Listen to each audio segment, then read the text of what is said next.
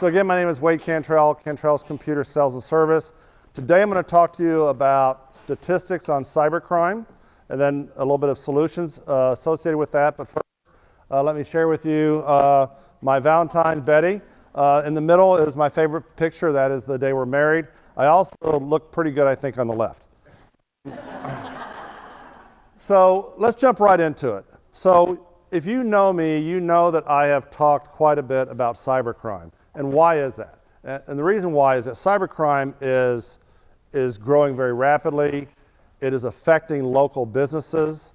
And the key thing that everybody should realize is, is yes, there are some target industries like healthcare and finance, but regardless of the size, the vertical, the location, everybody is being a target. So, I was talking about the FBI and the IC, IC3. IC3 is a division of the FBI and they are uh, tasked with um, coming up with statistics for the crime in the United States and the world associated with internet crime. The reason I had the show of hands is because there's not a whole lot of people that really know about the IC3. IC3, in my opinion, does a very good job of unbiased statistics, but they do not capture everything that's going on out there. So just from the show of hands, it looks like about 10% of the people here knows about this agency. Therefore, it gives you an idea of possibly what they're missing and what these statistics will share, share with you. Okay, so this week, IC3 came out with the 2019 report. And as it has been a trend, uh, internet crime, cybercrime continues to go up at a rapid pace. You can see the statistics there. Um, key things or complaints are up like from 2018, like 30% uh, uh, damages, 33%. Also, California is, even though we're pretty technical, we're certainly not immune. In fact, California has over double the complaints of any other state in the United States, and uh, over $500 million in damage has been reported to the IC3 from cybercrime in the state of California. Okay, so trends. Imagine this, the IC3 is getting almost 1,300 complaints a day. That is a huge number, okay? Um, ransomware is up uh, by 37% in frequency, much higher in the uh, damages. The biggest uh, crime right now financially is what's called BEC. And if you want to know more about that, you can talk about me, uh, talk with me at a one-to-one.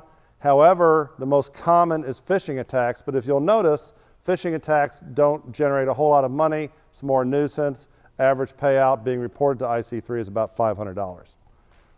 Okay, so I hear a myth a lot about, well, we're too small as uh, to be a target.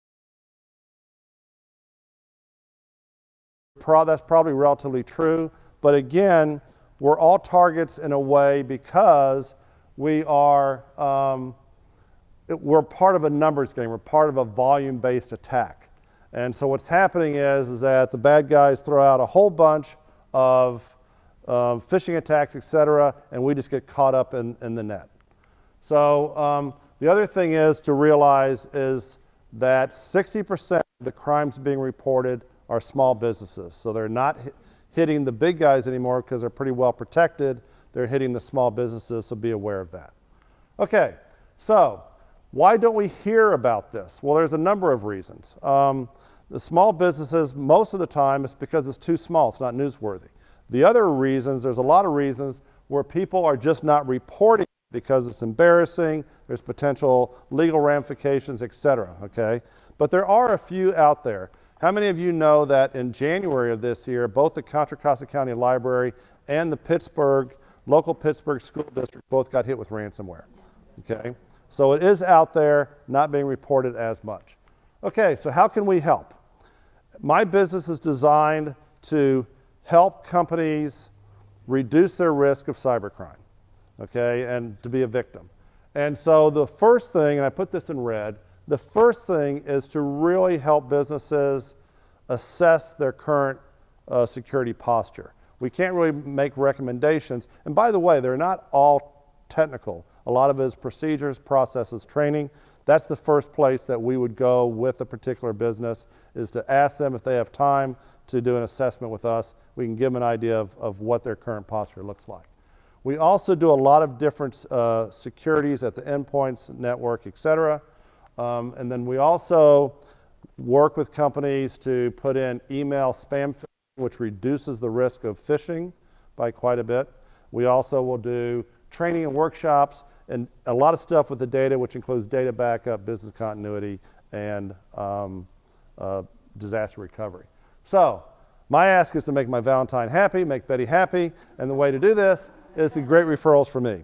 And great referrals include architects and designers, um, local financial analysts and advisors, local engineering firms, um, local attorneys, dentists, nonprofits, especially if they are under HIPAA, and then um, not private schools.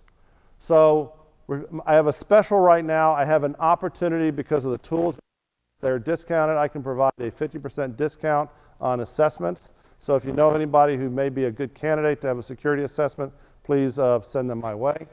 And then our assessment capabilities, we have quite a bit, which includes dark web search, uh, many different assessment tools, also cybersecurity risk and, and reports, and uh, including HIPAA and PCI compliance reports. So we can help in that way. Okay, so my thanks for many people in here for your referrals and business. Again, I've, hopefully I've caught everybody here that has either referred me or been a customer. Again, thank you very much. Very much appreciate that. Again, my name is Wade Cantrell, Cantrell's Computer Sales and Service. Thank you.